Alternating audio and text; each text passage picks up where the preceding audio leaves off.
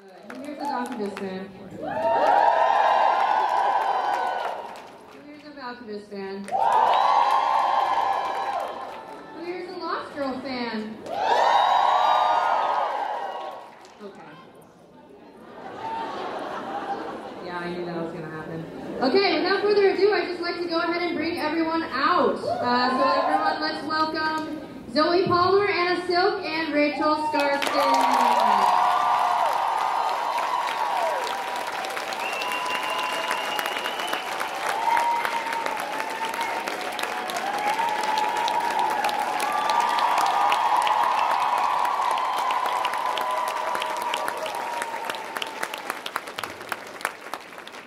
Sorry. you were like, oh yeah, that's us. Yeah, cool.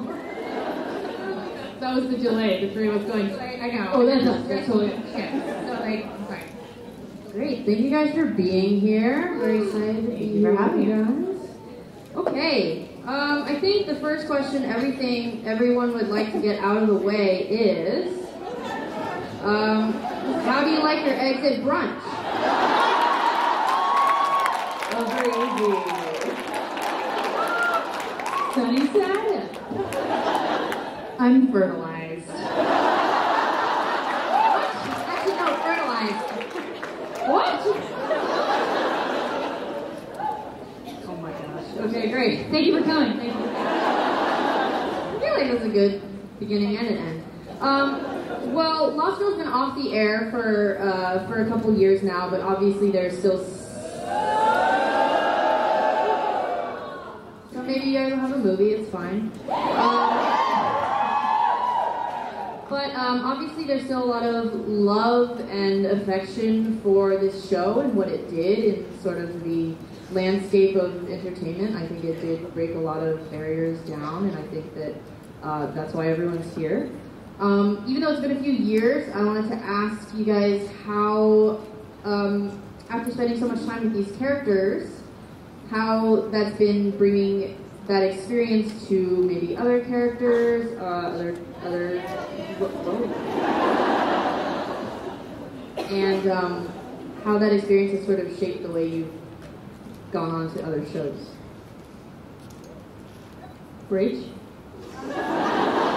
Well, actually, when I started Reign, it was a problem, Tamsin, because she became so much my alter ego that, and I, I kind of jumped pretty quickly from one to the next, and so I just, you know, started playing her, and I had these beautiful costumes, and I was like really serious, and we had a scene, and uh, the director came up to me, and she said, yeah, you, you have to stop doing the eye roll because that's not really Elizabeth. And I was like, ah, I do it subconsciously.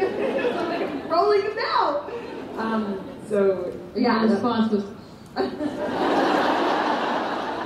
I hadn't even noticed how, you know, they, you play a character, you inhabit a character for so long that the line between that character and you, sometimes it blurs. Um, I actually, it wasn't so much Lauren. I mean, you definitely have things that you hang on to, but it was actually the android.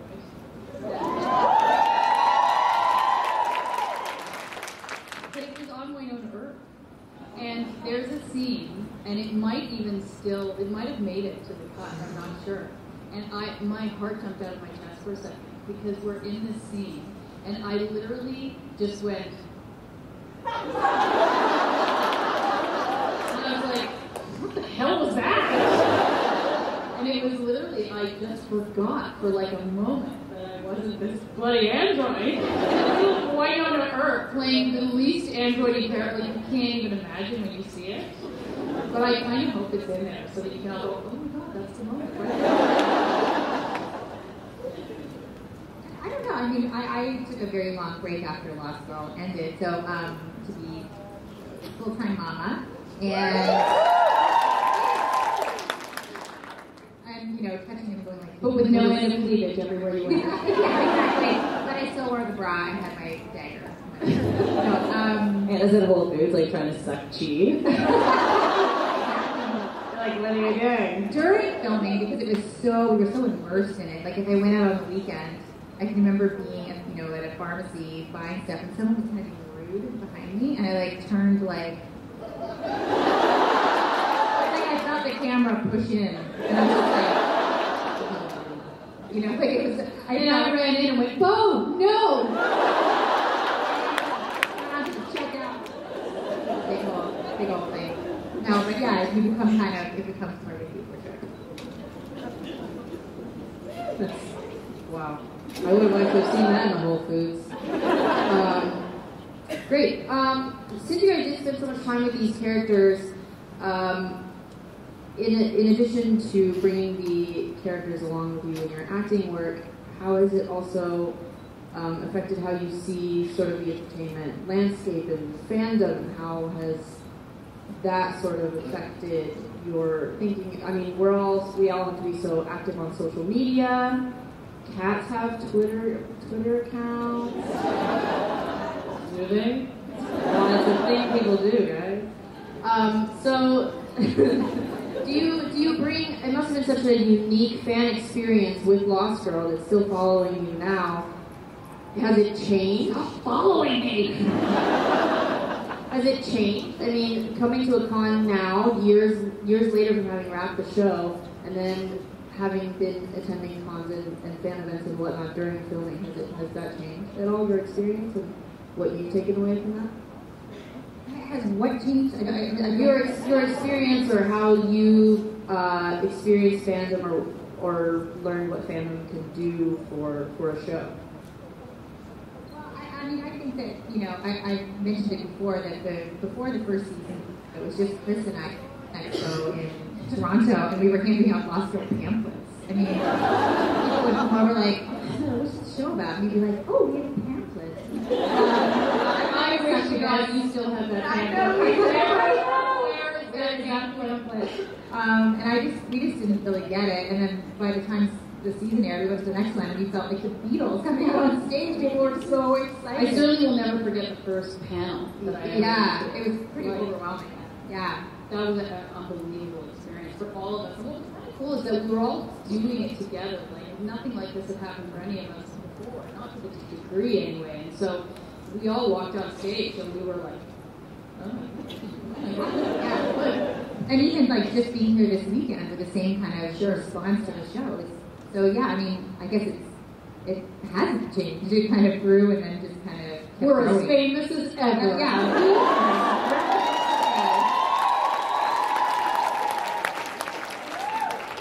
That's actually one of the wonderful oh, things about Scary me.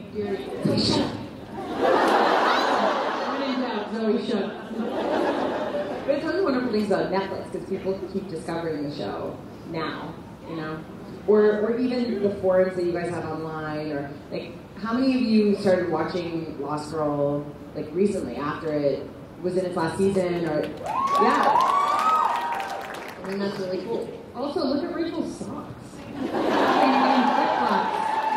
Okay, this is this outfit. This was my favorite T-shirt from the Gap when I was like ten. Yeah, I got these. when you were ten. It, no, but I was into like it's vintage. Okay, yeah, it's a little tighter on the arms actually. yeah.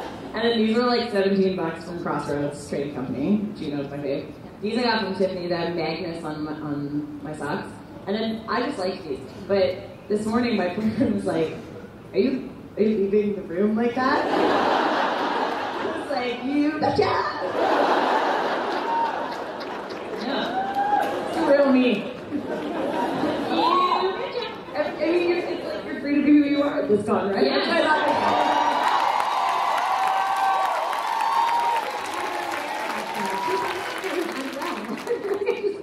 I'm pretty sure some people think I'm well. Can you imagine any of those things on me? Like, not a chance. I can't pull that off. Literally, you would pull it off. You So, know, do we need never to do wear a clothing swap or? Yeah. Right, so so we're gonna come do on, right right back there. Um, uh, so along with the impact is you did come in later in the in the show, and I know you talked about how that was um, at the same time it was it was just as pleasant of an experience, but you kind of knew what you were signing up for. No, no, no. no. I, I knew what I was signing up for in the sense of what I saw on the screen. You know? Oh, okay, I see. Because I, I'd seen ads for it all the time, and they, everyone, especially in Canada, like knew Lost Girl. Um, I had no idea. First of all, I had no idea the people that I was going to get to have in my life now forever, which is awesome. Um, like the cast, that whole experience, you guys, especially. um, but the, the fandom, I had no idea. And when you talk about the panel, like it was the same thing for me at the Toronto Expo. That was crazy to me. Like it was this like two story theater and there were so many people and I was so nervous. I couldn't believe it. It was it was wild. So no, I had I had no idea. None. And then, uh, did you, when did Valkubus become a, sort of a discussion for you, the, the actors? When was that brought to you as a possibility or as a development in the script? Well, it, well, it, it just kind of happened organically because I was supposed to be Chris's love interest, and they quickly realized that was like not. They're like, this is just Ox McGox to watch. Like, we're not doing this. And then you, we just had good chemistry. Oh, And so, yeah, I don't, did anyone talk to you about it being a plan, or No. when did that even happen?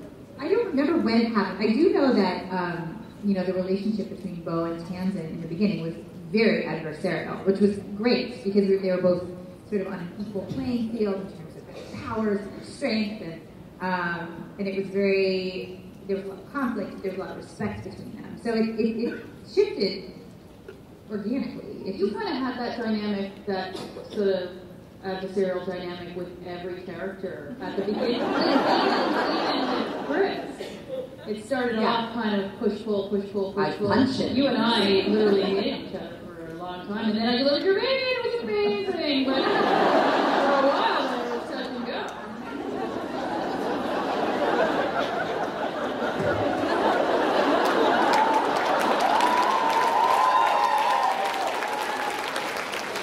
I, I like that. Um, You, you having a baby? It was crazy. It was crazy. I live still to this day. Can't quite get that out of my head. I thought she was going to blow a fuse. I thought I was gonna blow up. I, I, I've said this before, but I've been at three live births where actual humans came out. And that's the most frightening thing I've ever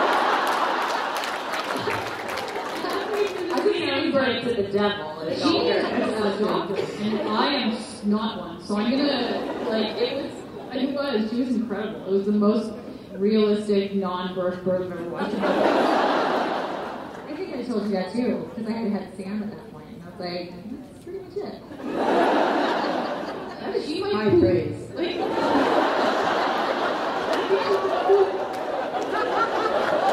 do I tell her? Like, do I tell her if it happens, or do we pretend? Like, what do I do? Um, okay, so, so, yeah, poop. I don't know what I'm How do I say poop this weekend? How do I do it? Uh,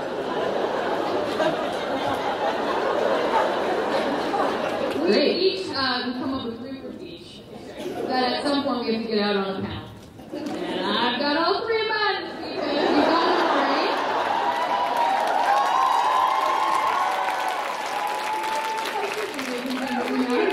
Yeah, do that. Honestly, do that. And you have to bring it up completely organically. It's like a code word on that talk show. Yeah.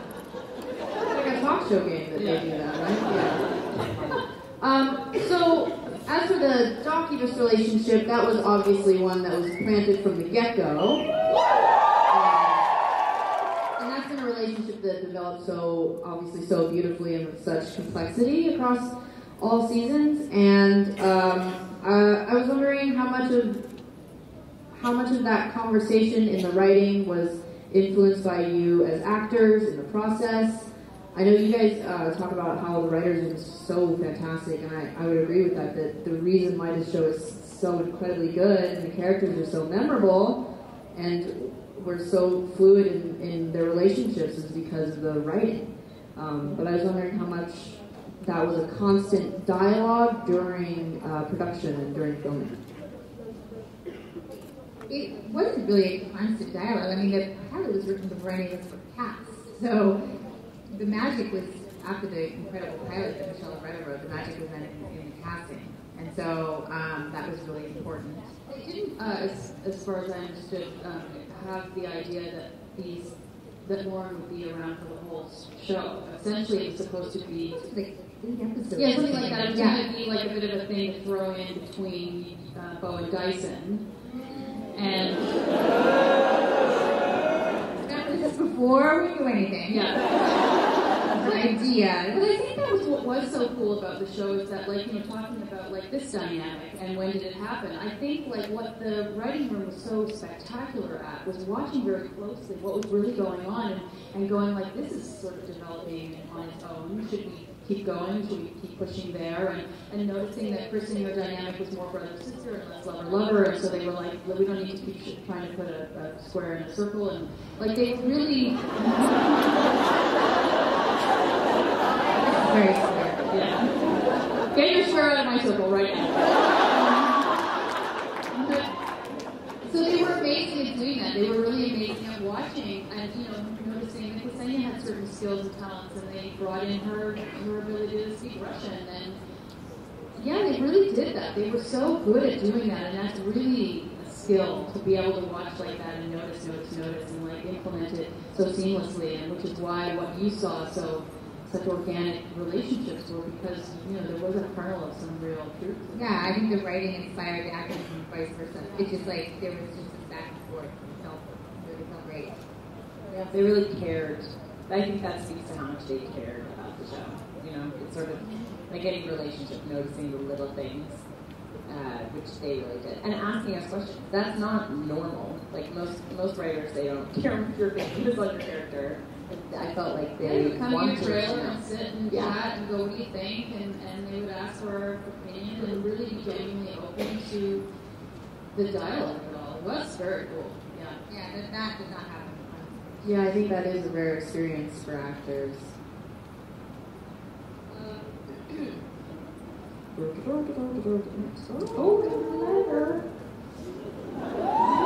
you. Great. Great. But you gotta share with everyone. Read it out loud. Secrets don't make friends. It's, a brunch invitation. It's not a brunch invitation. Um, that's uh, yeah. I think what for the story, obviously, it's interesting to know that you coming in, Tamsin wasn't necessarily just brought in to be a romantic interest, and yet because of the nature of who they were, because for instance, we have a human and a fae, right? Lauren was human and Tamsin was fae, and that offered a lot of mileage for the story and where that was going to go. Um, And Tamsin was only supposed to be on for one season. I, I fell, I drove off a cliff. And that was going to be that. And then I came back. Oh, that's right, I forgot about that. I forgot you drove off a cliff. During that scene with Chris, anything with Chris it up. But we we have to like be falling off the cliff, and Chris would keep being like, ah! That's what it looks like when you fall off the cliff. There's nothing worse though because I remember I did a show a, a few years back called Instant Star, and I, I had to die at the end in a car crash. Dying is the worst. Well, especially when you're dying by surprise. Over and over. By surprise is the word. Everyone, every guy would love a death scene where you can be like, ah. but there's the other one where like all of a sudden, like in this one, I drove into a bridge, which of course I didn't do. So all of a sudden they were like,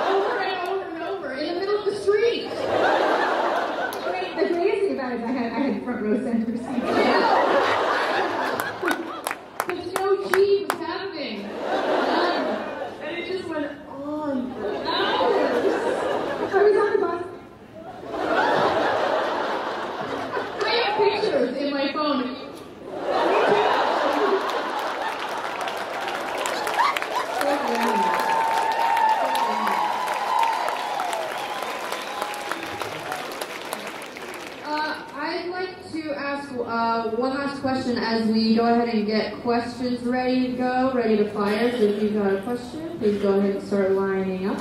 Uh, I just wanted to see if you guys could name just your favorite uh, Doccubus or Valkubus scene to film, or whether or not that be because it was iconic, such as the cupcake scene. Well, actually, we have a. We were talking about it backstage because initially I was supposed to come out in a whipped cream bikini. I was like, hella no. There's not a, a for the no of that. There's not enough whipped cream. I just come out like covered in whipped cream. Like a whipped cream snowsuit. In one piece.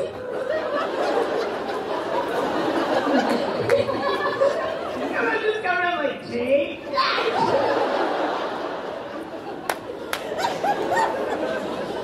and it was a bow.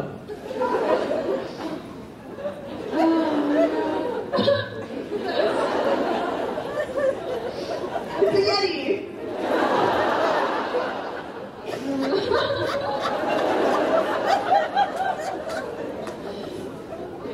Okay, um, and it's like, I'm gonna answer the question. The scene, the Bo and Tamsin where she really you know, she really fell in love with Bo. And Bo Oh, yeah. had to Tell tell you her that. Um, this isn't gonna work. But it was so heartbreaking, you Yeah. know, because it was so hurtful, but it was really honest. You know, she just, that was not the right thing, and she had to tell her that. That was a tough scene to film. I watched it.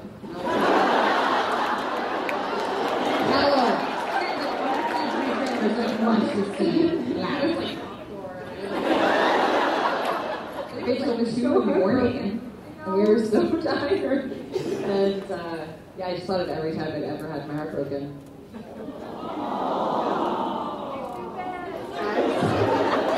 I like a lot of the stuff that happened for us at the last in the last season. Like Oh my gosh, like sitting uh, when they were having sex. And you That's one of my favorites. Yeah, just sitting on the desk. and you were like But like I could have done that like so long with you. That was so much fun. Is second. was amazing. And also me trying to get into the what, the yellow car. And you were just like, was that you? Before anything we did with that fucking cast. I was such a loser. Laura was such a loser sometimes. Like, I, I, I mean, you know, I love her, but she was, you know, a little loser from time to time. Come on. Yeah. Yeah. yeah. Yeah. Yeah. Yeah. I, I, I mean, I can't think of a Bo Lauren. I mean, there's just too many. We broke up a lot, got back together a lot, broke up a lot. But we just had too many to. I still, five years of it, my favorite moment really is the moment where I'm trying to explain, you're trying to explain to me, is it me trying to explain to you? I can't remember, but those two background actors were on the phone. It's like, it's, the, it's perfect. I think we told the story a little bit a couple of Oh, times, for but sure. like, um, Zoie and I could not stop laughing. The crew actually just they went they broke for lunch. Like they were like they got the shot. It's the only time that they just gave up. They gave up. They were like, It's fine, we got enough, it Because doesn't they were filming us in the background, but we were supposed to be like hot into each other. Remember, we were like, we're gonna bump our own CEO. And you were like, he's a seven and she's a four, and Anna and I, and the camera is on us, and Anna and I turned to look at these two background performers who are facing each other and both so into each other. We were trying to perform. Yeah, Anyway, yeah, that was just that was just fun. and we could never get another take after that. Like after that moment, it was over for both of us. We couldn't say the line anymore, and on us. Uh, let's go ahead and open it up. Uh, let's have our first question. Let's let's keep these classy. Let's go. Um, Zoie mentioned in the last panel about, sort of jokingly, about the idea of Bo and Lauren being in a poly relationship at this point. If Tamsin were still around, how do you think all three of your characters would react to that? You guys can hear that, right? If we all were in a like polyamorous relationship. Be together or how? All three of you together. You know, and how would each of our How, individual yeah, characters how react to that? characters react to the idea of that? Well, I think Lauren, you know, I'm trying to get me separated from Lauren here for a second, but like Lauren, I think would um, struggle. I think truly, I think she would struggle with it always, but I think ultimately come to the place that she came to on the show, which was that she loved Bo and Bo is Bo, and she knew always that she was going to need more than Lauren could give. I could give her a lot, but Lauren.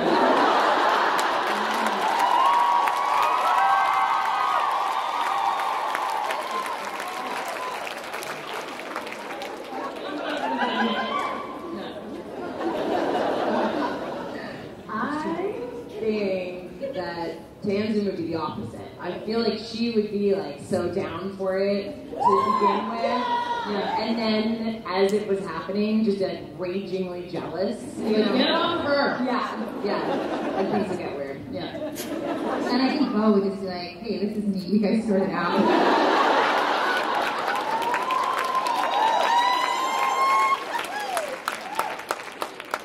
Let's go and move on to the next question. Um, I just ended a UConn, so it's always hard for me to think of a good question. So I have this one for you guys. If each of your A little bit louder. Oh, yeah, sorry. If each of your characters were an ice cream flavor, what would they be? and what is the Doccubus flavor, the mix, and then what is the Valkubus mix? Ours is Rocky Road. Yeah. Ours is that. Red Velvet. Yeah. What? Tiger. Tiger? Tiger? I think Bo would getting ice cream. Yeah, what is that? Bo would be heavenly hash. For sure. Is that American flavor? Is that, is that a Canadian thing? Heavenly hash? Pretty sure that's what that means. Lauren would be maple walnut.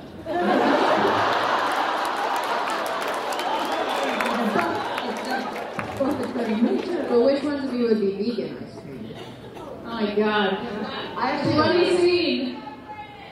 Oh, I was so excited about that ice cream scene because I was going to get to eat ice cream for hours. And I love ice cream. And then out came this god awful thing that Anna was like, Can I have a vegan whatever? And I had to eat that for the whole scene.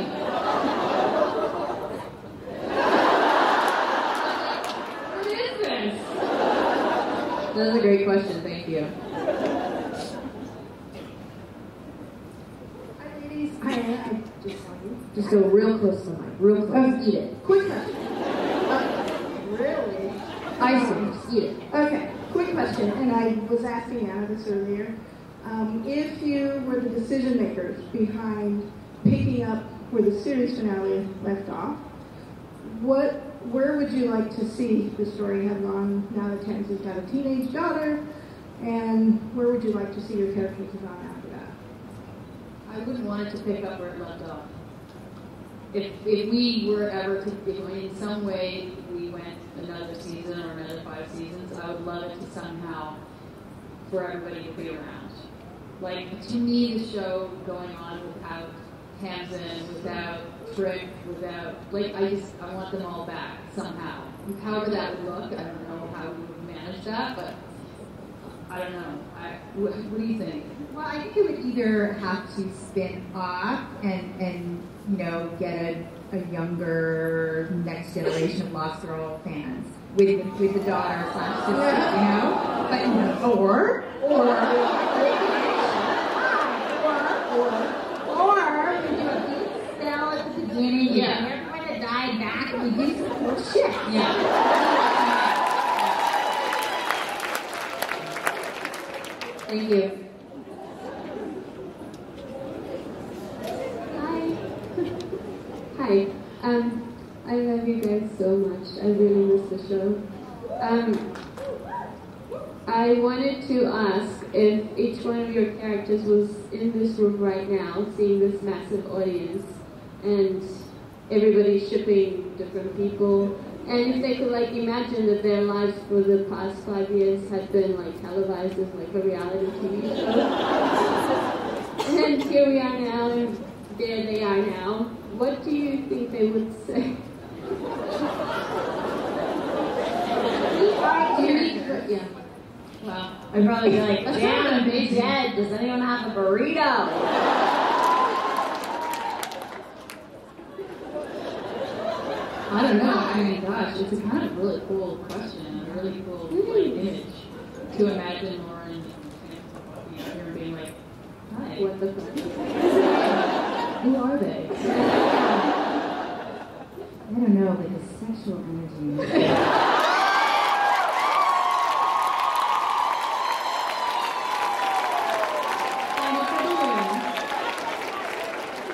Thank you so much.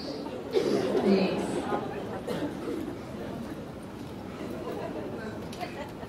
Can you hear me? Okay. Um, throughout the series, Bo had her trust had been betrayed many times from Lauren to Dyson, even Kenzi at one point. Um, but she always seemed the hardest on Lauren. Right?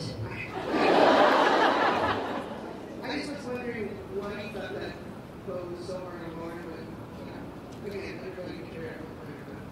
Um, and Lauren, how it made me wonderful, uh, or can you recognize?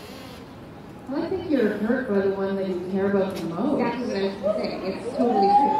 So, Yeah. No, no, but really, really, I think that Yeah. you that that hurts the most, right? It's from from that real true deep love. Do you think Lauren recognized that? Do you think she was aware that she kind of got put you like that?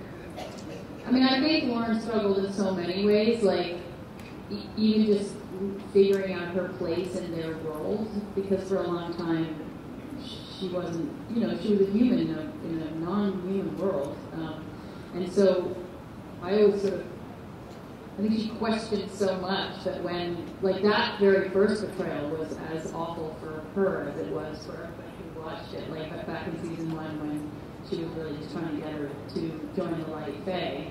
Um, that scene where Bo finally figured it out, and I mean, it was devastating for Lauren. And I remember filming that scene; it was devastating for me too, like because I auditioning that. that's right. We auditioned with that scene, and I didn't know um, what my character was going to be. Like, I didn't know if I was a good guy or a bad guy, so to speak. So that scene was the first time I realized sort of where I stood. And although Lauren loved Bo, I think from day one, like I think that first meeting where she bends down and says, "Come with me," to me, I've always imagined that that was like it was love at first sight for, for Lauren.